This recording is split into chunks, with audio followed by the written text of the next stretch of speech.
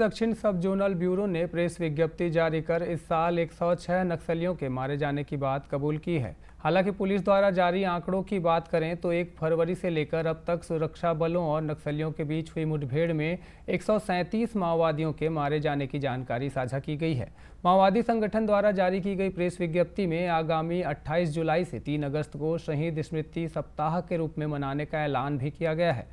मारे गए 106 माओवादियों में से 55 को पूर्णकालिक कार्यकर्ता और इक्यावन को क्रांतिकारी जनता होना बताया गया है। माओवादी प्रवक्ता समता द्वारा जारी किए इस प्रेस विज्ञप्ति में पुलिस पर इस फर्जी मुठभेड़ का भी आरोप लगाया गया है।